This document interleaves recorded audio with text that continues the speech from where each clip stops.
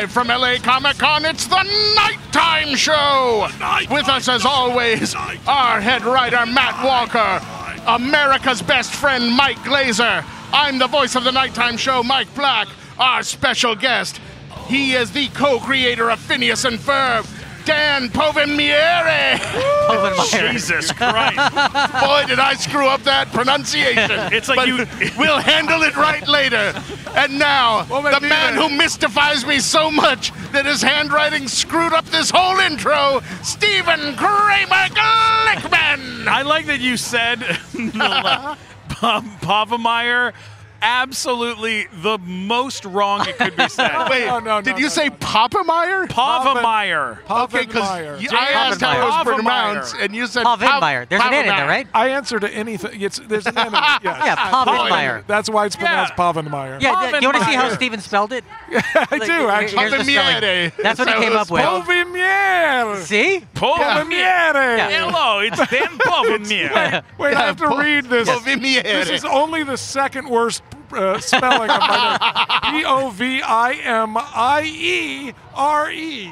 That's Hello, I am Dan Pavameyer. The, the best one I ever got was pony mice, Oh. which is really not that far off when I look Yeah, at it. it's- It's like, it's not that like three letters are just slightly different. He didn't think, oh, let's break it down phonetically and do it that way. It's what's the most challenging way I can do it for the intro? Povimiere. Pony. I'm, I'm, I'm going to change my name officially to Povimiere. Povimiere. I like so, that. so that It sounds Stephen very will not fancy. have You're very wrong. fancy. International superstar. Yes. That And sounds like the, that sounds like the name of somebody with a ten thousand dollar fridge. It really yeah, I do. I, but the, that guy definitely has a ten thousand ten dollars. thousand two ninety nine. Apparently, Holy I, shit. I found that out on TikTok because somebody did a TikTok about how much my fridge cost because I had it in the background of one of my TikToks. Yeah. and, and my first thought was, my fridge costs ten Yeah. thousand. Which, uh, that is amazing. Yes, that is it an amazing thing. It, it's a, it's a great fridge. I don't. was I think it's sad, probably yeah. if there's a fridge that's worth ten grand, that's it. It's what it is. And he- and actually in that video he does go on to say Does the fridge? that's what these kind of fridge, like the counter depth uh, built-in fridges, cost about that much. So you know.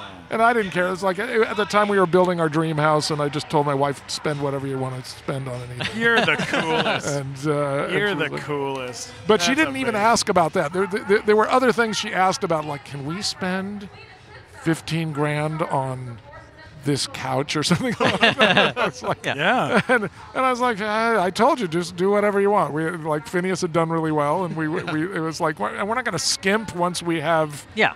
you Yeah. know th- this thing. So that you know, I was suddenly in that weird mood of just ah, spend money. I love it. I mean, I mean, come from I, I come from nothing. We have money now. Just spend it like it's water. Does that More couch shall mine come. Bitcoin or something? Like Yes. yes. How much did you pay for that? You offer them twice that next time. I was like, Now, how? Uh, what a gigantic monster of a show! Holy crap! It did Does very that- well. And man, it, it hits home with a lot of people. Why? Why do you think that is? Why do you think it was so successful? Because it's not like it's the only thing that was on TV No, on Disney no. Channel at that time. Well, I- I think- what were you guys up against? What other shows were? well, we were at that you know, time? we're the ones that knocked SpongeBob off the number one perch, uh, which shit. which, and I worked on SpongeBob. And I like all those uh, all, all, all those people, and, and and I think that's a really good show. But but I think it hit the zeitgeist at the right time on the right channel with the right promotion and stuff. But I think it's also that we made a show that was genuinely nice. We looked around at what, what else was on on on TV for kids, and so much of it all the characters were either jerks or idiots. They were either mean or they were really stupid, and that's where they got the oh, humor from. And we and I thought, I wonder if we can make a show where nobody is genuinely mean to anybody. Nobody is motivated by meanness. Yeah. Nobody says anything mean to anybody. No, we don't get a, jo- a joke out of that ever, mm-hmm. and still make it funny, like you, you know, like somebody who is watching Family Guy would like That is Yeah. really the- challenging. the show, and it's really Yeah. challenging, and and and it it be it became very rewarding to do that show because we had to get smarter a lot of the time. Yeah. Rather, because the easiest place to go for humor is say something shocking, say something mean. Yeah. Yeah. And we couldn't go shocking really because we didn't want to do double entendre. We didn't want stuff that, like, our rule was if the adults in the room laughed and the kids turned around and said, Why are you laughing? That conversation could not be an uncomfortable conversation. Mm-hmm. And so, and, and, and so That's a really it was a really, Yeah. you know, but it made us That's much a choice. better That's writers. a serious choice. Yeah. Yeah, and and you know, and people would come onto the show and, and just couldn't get how to do this show. They they, they, they, were, they were like, well, do these characters even have a personality? When I'd say no, they can't say that. It's too mean. They can't say that. It's too mean. And I'd say yes, but it's just not the same personality you've written on the last 12 shows you've Right. been on. Right. We're gonna have to find something smarter. And Matt would have once been they were- fired on day Yeah, I was, I one. was Yes, like, this. exactly. Matt's so what we've learned is that the exact opposite of everything of all my instincts is how you are Yes, successful. Yes, exactly. That's it's, it was the exact opposite of my instincts, to be honest. I came from Family Guy to that show. Holy Uh, crap. yeah. But uh, but it's uh, you know I, I think it really helped that it was a it was a genuinely nice show. I think the fact that we wrote songs for every single episode, Mm-hmm. that I've written. 500 songs for Disney at this point, some, so- something like that, and and So do you get like ASCAP royalties on those? yeah, yeah. Nice. Well, not ASCAP. I'm in Or BMI, but Okay. but uh, but yes, and Nice. they were. But you've got to been be all over Disney Radio. Yeah, every day. we were all over that, and and like TikTok. If you type in the name of any of the songs that I wrote Mm-hmm. for that for, for that show, th- it's like millions and millions and millions of views. Some of them have like millions of videos that each have hundreds of So thousands. millions of of views on TikTok sounds like No. about twelve dollars. Okay, now wait, wait, wait. Before, I don't know what before I we mean. jump over to TikTok, we ha- I have to say this. Not only did you write those songs, you sing a lot of those I sing, songs sing too. several of them. yeah, yes. because you're you're um I'm Dr. Doofenshmirtz, so yeah yeah. So I sing, which is Well, I'll be honest, I don't really understand, but I fell down this hill. Now I got glue on my hands and I got records on my fingers. records on my fingers. I got records on my fingers and I just can't stop. that, song is called Platypus Controlling Me. If you look that up on TikTok, there are five or six different mashups of it with popular songs. There's one with Train. There's one with Saweetie that had like millions and millions of videos. Like if you Wow. look under the sound, there's millions of videos to that song because there was a dance craze to it and, and and stuff like that. I think we now It's owe like- uh, Disney uh, seven thousand dollars Probably, for that, probably. for that Podcast, soundbite. Probably. Well, yeah, you can, just, you, can, you can pay me before I leave. okay. for, I uh, take uh, I take cash and no. check. Yeah. Uh, I've got a Venmo, so for, for our audience that is uh, listening to this, um, there's a lot. Of, you worked on a lot of really badass stuff. I mean, fucking. I'm I'm using bad language already. I Done some fucking great children's work. I mean, hey, bro, Really fucking, fucking great, great. children work over here. Uh, Cat Dog, The Simpsons. You you worked on The Simpsons. I worked on The Simpsons. You did- you uh, directed- second through like fifth season. something So like- when they were at their peak, Yeah, Yeah. When it when it when it was the biggest show, I I worked on the Ninja Turtles when it was the biggest show. I worked on the Simpsons when it was the biggest show. And I wor- worked Rugrats. on. I did not work on Rugrats. That's on my IMDb, but That's I had wrong? nothing to do with it. That's right. Hey, IMDb. what was your favorite thing Fix your on life. uh, Ninja Turtles? Uh, Ninja Turtles was that was like my first gig in an actual animation studio. Oh, okay. I had done animated segments for feature films before that, where I had done everything. I was like the producer and the director Yeah. and everything. Oh my Um, god. and uh, and then I worked in in house for the Ninja Turtles. I was just really, I didn't have a lot to do with that show. I was just cleaning up storyboards and and, and restaging stuff and fixing stuff. Right. Um, then I went to The Simpsons and. Like, like what's what's something everybody remembers? Do you remember the Busby Berkeley musical? Uh, Yes. Yeah. Uh, the, the Busby Berkeley couch gag where they come Yeah. in and it pulls back and the facade Yeah, the goes up. And big thing, I did all of that. Wow. I storyboarded it and animated it and. Uh, Holy crap. and uh, and I did like the Mr. Plow. Remember the Mr. Yeah, Plow episode? that name again. where Barney is beating the crap out of the, the Homer thing. That's uh, I, that's I me. used to know a guy in Pennsylvania who had a license plate of Mr. Plow. yes, That was his license plate. Yes, he actually got it after that. Yeah. And uh, and I did like uh, like uh, itchy and scratchy when when when the cat's skin gets pulled off by the es- escalator and Yeah. I, I mean there, there were a whole bunch of things that I that, that I did there that I'll occasionally see there's there's a, a gif I can paste into people's stuff of of uh, Lisa dancing when she's like stoned. Oh, from that sandwich? I think it was like a It was, leftover it sandwich was, it was a something party. at, at a an amusement park. And Yeah, she was and like, I can like, see the music. Yes. Yeah. I, I drew that, so it's weird that I can put that GIF on people's. Wow. It's like, oh uh, my god. So, uh, so it, it was uh, it, that was a great show to work on. I would not have left if I hadn't been offered writing on on Rocko's Modern Life. I, I went over there just for the break between seasons of uh, of, the, of The Simpsons. And they were letting me write and draw at the same time, which was sort of what I, you know, what I really wanted to do. I, I'd, I'd done a comic strip, a daily comic strip before that, and, and I just showed them my comic strip, and they said, "Oh, somebody who can write and draw, you're hired." And I stayed on that for all five seasons, but I, I, I still did uh, did uh, Simpson stuff at night for as freelance. So how did you get started in entertainment in general? Like, is it some, when you were growing up, you like you always used to draw pictures, or Well, I, I always drew from. I was like a child prodigy artist. I, I, was making a good living drawing uh, pen and ink limited edition prints and selling them in the arts art crafts uh, fairs around the Gulf Coast when I was like twelve. Wow? Holy Uh, I would go crap, to the juried. I would I would go to the juried art shows that a lot of the adults couldn't get into because you Uh-huh. have to send in pictures of your of your work, and I would always get in. Uh, because I, because I just could always draw whatever I wanted to do, to, to draw at the Do people who, who ha- might have those now know that what they have in their possession? Sometimes days? people put it up on TikTok and say, "I think this is an original Dan Povenmire," and I'll go, "Yeah." I, was, I was- I was like, I was like 13 when you when I, when I drew that. Wow. Uh, but uh, but so I always had been able to draw, but I didn't feel like that's what I wanted to do for a living. When I saw Jaws in the theater, I was like, "Oh, I want to make movies. That's what I want to make." And uh, and I and I just started going towards that. You know, I, I, I used the proceeds from one of my uh, weekends at a at a crafts fair to. Uh, uh, to buy a Super 8 movie, you know, sound movie projector and camera and stuff, and I started making movies. And so I came out to go to USC Film School, and I never got in, but I took nothing but film classes and then dropped out. So I'm a, I'm a college dropout. That's I'm a I'm a cautionary tale. To kids stay in school, and uh, and uh, and then I started doing caricatures at Olvera Street downtown. Oh, uh, wow. because it was something I could do, Yeah. and uh, and I made a living doing that for a while, and still did my comic strip. And then somebody sent me an, an ad for they were looking for Ninja Turtles storyboard artists, and I was like, I could do that, and I just went and applied, and I got the gig. So was that show already on the air at that point? It, I was probably I came in midway through first season. Okay. I think it was already on the air because they did like 60 episodes. I think I Oh, was wow. probably 30 episodes in or something. Yeah. came in. Yeah, not long after that, you went over to uh, the Critic for an episode. Is that I right? I was on for one little bit? episode of the Critic. Huh? Oh my God! I, I, I did. Uh, it was just a freelance gig.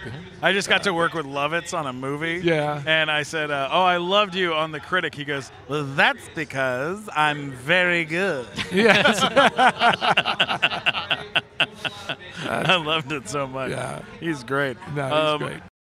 Hey, uh, before we continue doing the show, I, we got to talk about uh, the the equipment that we're using Mm-hmm. To make the show. Uh, make an epic show that is. Uh, it sounds like you know everyone is right here, like Yeah. we're all sitting together, but we're not. We've got a fantastic multi-track recorder from Zoom. Um, If you need multi-track recordings, that's the only company you should even be looking at. Um, basically, we had issues when we had to switch to doing things during a pandemic, and we were we went from doing a show with people in person to people over the phone, and Zoom just made it a piece of cake. Yeah, you bet. ZoomCorp.com is the website, and uh, they're you know th- this has made it so that we could interview people in uh, Nigeria, New Zealand. New Zealand, um, Guatemala, um, uh, Austria, Czechos like the Czech the Czech Republic.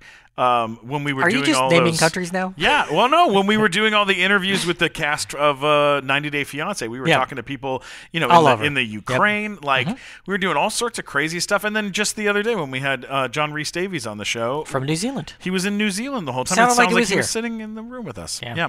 It truly is the mark of excellence for podcasting. Zoom LiveTrak L-8 8 track mixer recorder, the board for creators, podcasting, music, and beyond. Yeah, it is a badass system, and uh, we're very lucky to be working with uh, Zoom. Go check out zoomcorp.com. That's Dot com. Zoom, you have to say it three times. That's what people do in ad, ads, right? Zoom, What is it, Steven? ZoomCorp.com. It's ZoomCorp.com. We're talking about ZoomCorp.com. All right, let's get back to the show.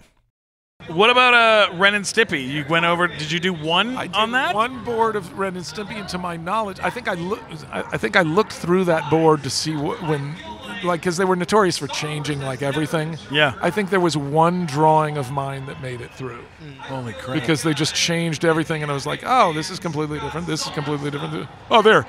That one drawing That of one little these bit. people on a truck was like, No, like, like, like made it. well, like as a as a creator of a show, um, Yes. you you know have gotten to, to be up close and personal with some other very famous creators like John K from uh, Ren and Stimpy, or um, you know, and uh, Matt Groening. Um, what Bill Oakley. What what did you? Yeah, what did you learn from these guys? That did they did it help being around them so that when you were in charge, you kind of had ideas of how you wanted things to be? Yeah, well, well, John was uh, John was already gone when I did the uh, the did Ren and Stimpy. I'd met him at, at parties and stuff, but I didn't see his leadership style because I wasn't in in the studio at that at that time.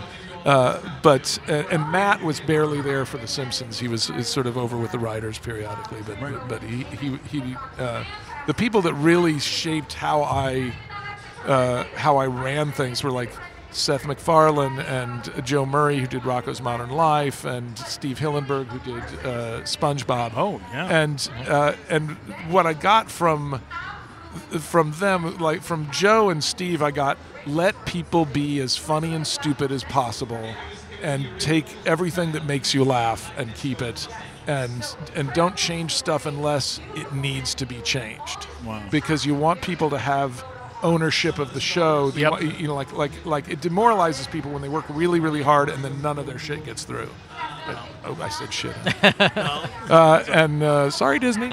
And uh, and uh, from from Seth, I thought Seth was so smart on, on Family Guy because when I was on The Simpsons, if a show came into what we called animatic, which is like like storyboard panels or, or, or, or layout drawings put to put to the soundtrack, it's like a, it's like a pencil test, mm-hmm. right? Yeah. If it came into that part of the process and it was funny, it, it, and, and, and it's if it came into that part of the process and it sucked, it mm-hmm. would get great by the end because they had all these times to rewrite it Yeah. baked into their schedule and they would rewrite about 20% of it each of these times and it would and they would elevate really crappy original script to something really great Right. but if something came in really great at that stage it would get penalized because they're still they rewriting. would still rewrite it Yep. and it would get worse and worse and worse Yeah. and you know, like there were things that came in that were uh, to me the funniest episodes of TV I'd ever seen. That, that when they went on the air, I was like, okay, you know, it's Can you, can you think of any good. like uh, specific example of something on The Simpsons where like it was great and then by the time it was finished it just wasn't quite the same? I can't remember. There, there, there was one season. It may have been. It may have been Homer that no, because that st- that still was really good. There, there, were, there, were, there was one that came in really really funny, and I can't remember what it was. And then it was just disappointing by the time. it-. Yeah, because funny with and Simpsons Seth wouldn't do that. Seth would go, "We don't need to touch this. Yep. There's this show over here that we can spend extra time on because Got he Wow, yeah. had the presence of mind, and, and he and the and the showrunner at the time, who was uh, I think uh, David Goodman, ha- had the presence of mind to know whether something was funny enough Mm-hmm. or not without without saying, "Oh, have we rewritten this enough?" I remember writing on things where I would see like the older guys not contribute anything for like most of the week, and the younger guys are like throwing out joke after joke after joke. I'm like, why are they even hiring these old guys? And then they would come in on the very last day and go, I had a couple ideas since we were like down to the wire. Yes, and then And they, they would go in all their and they great would, ideas. It would stay in because Yep. people wouldn't have a chance to get tired of it. Because that's Exactly. the problem is when you hear a joke over and over again, it's no longer funny. Yeah, do we still want And- that one joke? And that's what I have to do all the time on, on, on Phineas. I always had to go, okay, this joke is not making me laugh anymore. Mm-hmm. Is it because it's not funny or is it because I've heard it 30 times? right, yeah. Or 60 times or 120 times, and that's not really an exaggeration. of it. Yeah. And uh, I've I've heard those jokes one frame at a time. You know, I mean, Right. so I would have to constantly be, be checking myself and say, is this still funny, or is it just that it doesn't? It, it- does this need to be rewritten? Does it need to be retimed? Do I need to take out a little bit? A few, you know, like two frames of pause can make a world of difference as to whether something's funny or not, whether you get Oh, a, yeah. a, a laugh out of it, and uh, and like I was constantly having to try to figure out, okay, this made me laugh the first 12 times I saw it. Chances are, since I haven't changed it since then, it's still funny. Right. Yeah. But the but everybody who is hearing it over and over again have all heard it over and over again. Yeah. The editor, me, So you have to keep like, defending it to yeah. everybody. yeah. But so so it was a constant battle of, of like how did uh, you know when when did this die and why? Did it die in my mind or is it actually really dead?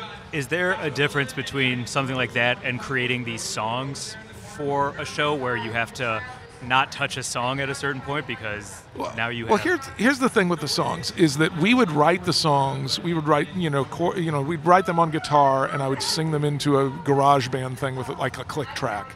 And then we I would send it to Danny our composer and he would produce it. And sometimes it would change a little bit in that production. He would he would phrase things slightly different or something. And my first initial concept uh, my first initial thought was always oh no that's wrong because it wasn't the way it was in my head. Yeah. you know most of the time he would nail it. It would be exactly the way i wanted it. But if something was not quite the way i want i, I saw it in my head i would not give him notes even though he would he's needy and would you know like hey what'd you think of that hey what'd you think of that you know i get these texts texts uh, and uh, he's going to hear this and go i'm not needy you're, you're needy danny you're needy and, Just send me uh, 30 texts about how not needy yes, you are. exactly.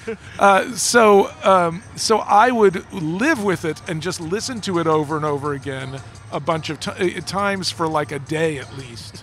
And if at the end of 24 hours that still wasn't as funny to me, then I would have him change it.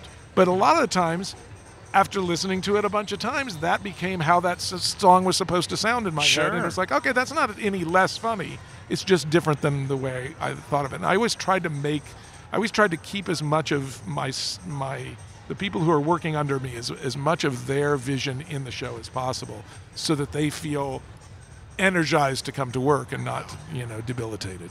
Yeah. That makes Now, a lot of sense. In animation, uh, the turnaround times often on some of these shows are much longer than they are on uh, Yeah. on camera. stuff, Yeah, of course. Like Simpsons, like it's like a year from the time they start making an episode. Yeah, till that's it's about done. that's about right. So, how often do you find in animation when you're working on things like this that something in the world happens and you're like halfway through an episode and you're like, you know what, we got to change something because, Damn like for it. example, like Star We've Trek to do Enterprise. that on on many different occasions. Yeah, like Star Trek Enterprise Yeah. debuted right before 9/11. Yes. And they went back and had to rewrite the second half of the first season because Yes. like they changed what they were going to do with You know, it. Matt, you you started that question, and I was like, "What a brilliant, great question!" And then it then died. you did a Star Trek reference Found a way. because you had to find a way to bring up always Star find a Trek way to in get Star every episode.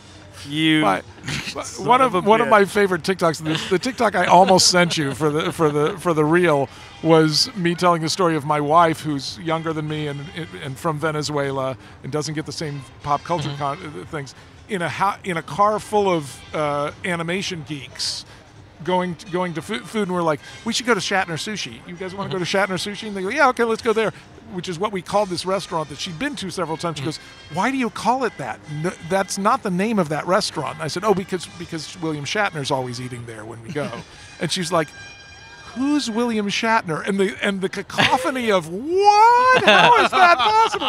Okay, They also were like, he's he played Captain Kirk, and then she said, "Who's Captain Kirk?" And, and it was over. Well, I have a follow-up question, Yes. which is where is that sushi place? Because I want to go eat there so I can see William Shatner eating Uh, sushi. That's uh, I don't know that he's still there. That this was, this was 20 years ago. Oh. Uh, but but he, it's felt like he must live right around there.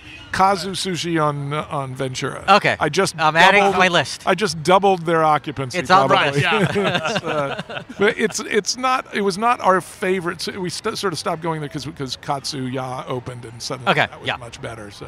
I- uh, but uh, but it was a good it was good sushi. I don't and wanna Katsuya has actually sponsored this podcast in the past. Did they it really? have, Yeah. yeah. Have you ever met Shatner? Uh, I have not. I've, I've eaten next to him on several different occasions. I met him twice. He's a real son of a bitch. That's I've heard that a bunch.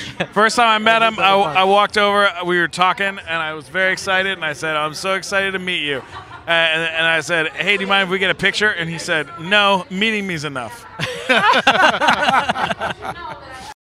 hey, Matt. Before we continue doing the show, we got to talk about what we're talking into. These Sennheiser microphones are fantastic. Yeah, they are literally top of the line, the best company in the world when it comes to microphones, headphones, audio equipment like this. I mean, Yeah. it's just so damn good. If you want to sound good talking into something, get yourself some Sennheiser microphones. Yeah, it makes you sound epic. Mike Black, uh, say something epic. Space, the final frontier. Bum, bum, bum. These are the voyages. of- if I say any more, lawyers will get involved. we we have to. exactly. But I said it clearly, and you, could did. hear it clearly. God, I can hear it. I, I- it sounds perfect. Um, hey, uh, go and uh, go check out Sennheiser. If you are looking for audio equipment, uh, you're looking for a great microphone. This is the one to use. Mike, uh, Matt, what is what's this one called that, that we're using? Uh, this is the MD42. oh, it's perfect. yeah. It's absolutely perfect. Find them at Sennheiser.com. You bet.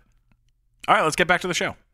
Uh, some of our TikTokers are leaving the booth now. Yeah. They are. They are lovely TikTokers. that Yes. did a wonderful job today. Yes. I realized that the three TikTokers to my right on that panel.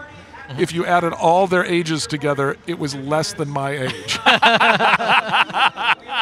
that's a true. That is so That's, Yeah. that's, that's true. true math. Holy crap! My favorite was one of the guys on on the panel today. We did today for everyone that's listening. We did a, a panel today about TikTok, Which with may or may not have already aired by the time you're hearing yeah, this. we had not 14 TikTokers on the panel, and around 70 million to 100 million followers in total. Cumulative, Around- something like that? Cumulative. There, It was pretty intense. It was a pretty intense Yeah. panel. Um, but but uh, there. What's the the point of what I'm trying to say is. Uh, is is uh, you you're you have a giant following on TikTok, I do. man. It's- I mean, it's it is- weird. Yeah, and it's not like I mean I know a lot of other show creators. None of them have followings on TikTok. I don't. You don't see Scott Fellows on TikTok Well, with a. well, I mean, God bless Scott Fellows, but he did, he got he got to get his ass on TikTok. I do think that most show creators are shyer than me. sure, sure. I, I, I, I, I think that I am a, a much more of a loud social person, and and I think that helps. Uh, because I think a lot of them would just like, well, what? I don't know what. I don't want to have the camera on Some want to be That's like they make a yeah. show so they don't have to be in front of the camera. And I was always, you know, I was, I was, I was a drama geek in school, and I, I played in a rock band for 16 years. You know, really? I What kind of what kind of songs do you play?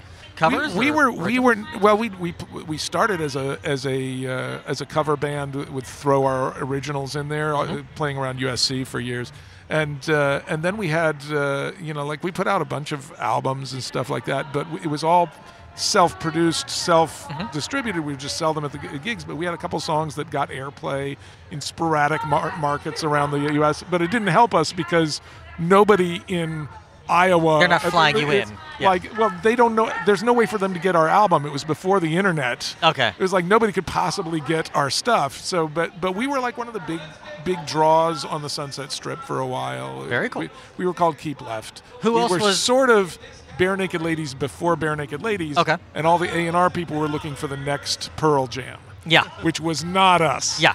We were this quirky, crunchy pop band, and everybody else was like. Jeremy smoking Yeah.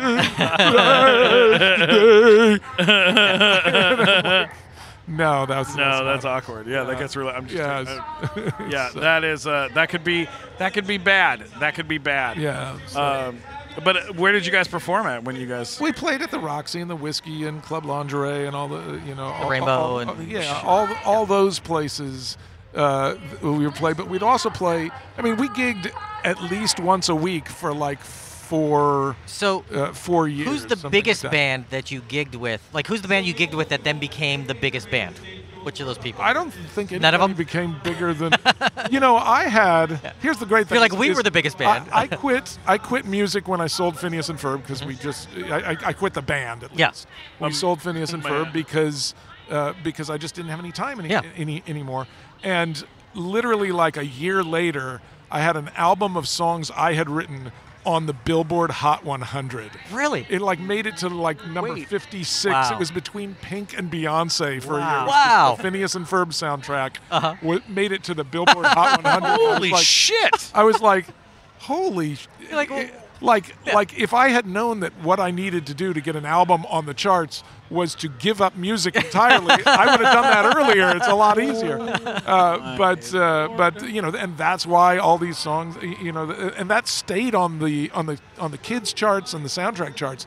It stayed for like ever. It was Yeah. like, Disney called it the Dark Side of the Moon because it was their one album that was always on the charts for weeks and weeks and weeks. So, So- what's the relationship like with Disney after you have a hit like that? Do do they just kind of like when it comes to the next show?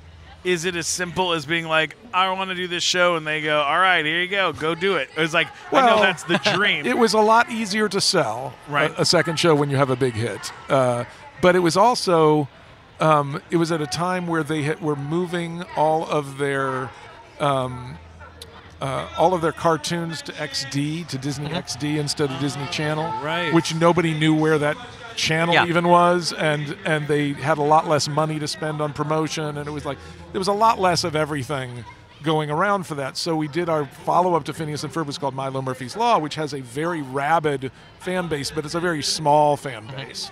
Whereas like everybody's heard of Phineas and Ferb, most people are like, "Oh, I didn't know that existed. Where was it?" So uh, uh, that that's uh, that's my, this, this girl just walked past and like pointed at me and like looked like like with, with this quizzical expression on her face, like I think that's that guy from TikTok. Do you Like find that that, a lot now with TikTok? That everywhere you go, I get recognized every every time I leave the house now, Yeah. which is uh, not every time, but almost every time. Uh, and uh, th- but that's just because of because TikTok just made me recognizable. I'm still sort of famous for Phineas and Ferb, even you know, Well, even though a lot of of people talk about my my uh, TikToks when they they meet me. Well, what's so Uh, funny is it's like, look, um, being a, uh, a a beautiful woman that's a cosplayer that you know you know has uh, LED strips in her room. Yeah. You know, you're going to get a lot of followers, and there are a lot of very lovely Yes, ladies exactly. that way. And most of and them were that on your panel. Most of them, I, uh, yeah, most of them were on the panel, and I follow all of them. Yes. But uh, there are not many people on TikTok Doing that are, that, that are Yeah. our age Right, in exactly. in the mm-hmm. in the older age bracket. I, I like that you say our age as though we are somewhere similar in age. we're we're we're in the same. I could so be your dad. to, these, to these kids, we're the same age. Oh, I know, I know. Yeah. To, to, To them, it's all the same. They have no idea. They Yeah. My, no my idea. favorite was there was a kid on the panel. That's what I was going to say earlier. Yeah. There was a kid on the panel who was like, you know, I just don't want to be like old and you know like 40 and like be thinking like I didn't do something. And I was just like, I'm gonna fucking kill that kid. It's like there's that sound where they're like, oh, to all the older generation on TikTok, you know, the ones born in the late 90s. Yeah. And you're like, fuck you. like you just take your phone and throw it off a bridge. They- They had this. They had this TikTok string where people were talking about how you think uh, you're old. I was born in 2005. Yeah. You think you're uh, you're old. I was born in uh, like, and it went all the way through. Like, and then one guy said, "All right, kids." Uh, you know, step over and let the adults play. I was born in 1981, and I just, and I just stitched it, and I, I just looked at the camera and said, "1981 is when I graduated from high school." God, and to Yeah. my knowledge, no one has beat me on that on that app. that yet. is so, So- great. yeah, I graduated first grade in 1981. Yes. I think I'm the oldest on this Yeah. podcast. Other Ah, excellent, excellent. till then, but uh, So I remember Mount St. Helens. I Yes. I remember Mount Yes. St. Helens. Oh wow! Before it blew up, Well, when it blew up. it blew up. It I didn't. I didn't blew- know blew about up. it before it blew up, but I wasn't aware Yeah, of it- it blew up. some mountain in a state that I didn't live in. No, I didn't care about it until it had the volcano. I but remember Mount St. I wasn't a big fan of Mount St. Helens. I didn't have like pinups of it or anything. remember when Mount St. Helens like was it wasn't like a big Helens? tragedy to me when it disappeared because I, because I liked the, the shape on the top so much. Guys, when is the new Mount St. Helens newsletter coming out? You didn't hear, son? You didn't hear? There. You know that this is the Mount. St. Helens podcast? You aware of that? We discuss Mount St. Helens. Um, okay, so I got I got I had a Mount St. Helens podcast years before it blew up. I was just talking about Mount St. Helens. um, so It was for big Mount St. Helens fans. Yes. Oh, that's so funny. Early music. I was up. I was up on these mountains before. I didn't. yes, exactly. uh, before we wrap up, um, I want to uh, throw a couple things at you. Um, because At me? Yeah, I want to. I want to ask. Should you I some- have a helmet? I've got some IMDb questions Okay, for you. Okay. Okay, here we go. This is what it says on your IMDb. Okay. Is it correct or not correct? Yeah, let's see. In 1989, you were an animator for Yellow Teeth on the movie Going Overboard with Adam Sandler. No, I was not an animator for that. That's I what- was actually in that movie Uh-huh. as the as the rhythm guitarist for a band called Yellow Teeth.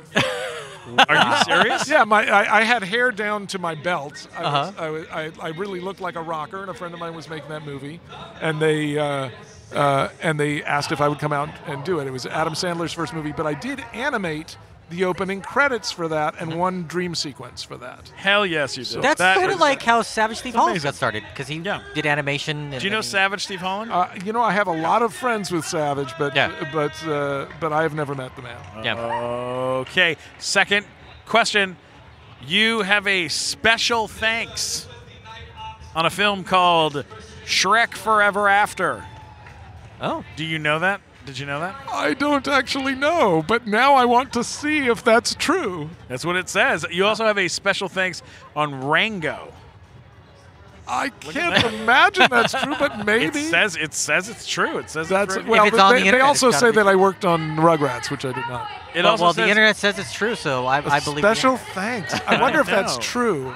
I did. also- I was executive producer of the Scoob movie. back in 2020. Yes. Yeah, last year. That And that, looked means awesome. that means I came over f- at lunchtime. I was working on Milo Murphy's Law. I would come over at lunchtime and give them notes and ideas and stuff for about six months, and uh, and then they went ahead for another like two or three years. So I had very little to do with that movie, but there's a lot of stuff That's from when I was of- there that, that made it through. You helped guide the beginning. I of the started process. it. I was I was going to be directing it if my show hadn't got picked up. It was Okay. the second position. And so when the show got picked up, they said, "Well, we'll give you an EP credit if you'll come over and, and just give notes." Uh-huh. stuff." So it was a great it was a great gig because it was it was not a huge amount of my brain, Mm-hmm. and I got like a credit uh, like like I'm on that poster. Yeah. Like, it- like- it's like Chris Columbus and me next to each other. It's- it's Whoa, funny. that's, that's great. amazing. I Yeah, love it was that really so cool. much. It was really cool. So, um, in, in, up next in your life, what do you what do you want to do that you haven't gotten to do yet?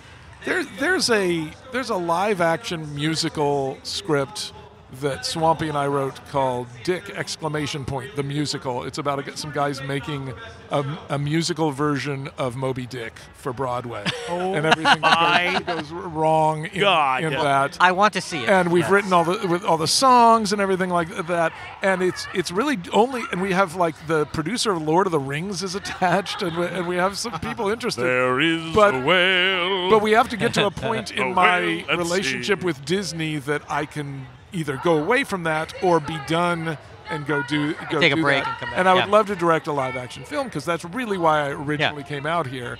I sort of found my people and my tribe in animation, but uh, but I, I that was And still Jaws one was your to do. inspiration. That was in the ocean, and Moby Dick will be in the ocean. That's so- right. Well, uh, except not not this one because it'll all be on a Oh, oh, that's true. okay, yeah. well, Matt, before but you, still, Matt, I- I just you wanna make say- the joke, Matt, before you make the Okay. joke, before you make the joke, Are, are you gonna make? a I would like note? to audition for the whale, if that's possible. okay. I, I wasn't gonna make that about joke actually. Really? I was just gonna say, Dan, I can't wait to see your dick. yes, very good. Both, I, good. both, both count. Yeah. Both. Okay. count. Yeah. Yeah. All right. Um, Wait, it is. can I make a pitch? Yes, of course. Also, a fifty thousand dollar fridge. A fifty. that's- Um, this has been such a pleasure. This has been where, lots of fun. Where do people find you on the social medias? I am Dan Povenmire on TikTok. I'm And- Dan Povenmire on uh, YouTube, and I'm Dan Povenmire on Instagram. And to clarify, is that I spelled may be Dan P-O- dot Povenmire on Instagram. Is that P O V I M I E R It- E? it is- it is not that, and it is not. It is also not spelled pony mice. Yes. How, how is It that is spelled for people? P O V E N M I R E. But uh, if you look Okay. up the creator of Phineas and Fer- Ferb, I'll show. Very- probably- very straightforward. Yeah, yeah, Uh, it's pretty so- easy to find you because you're so damn awesome.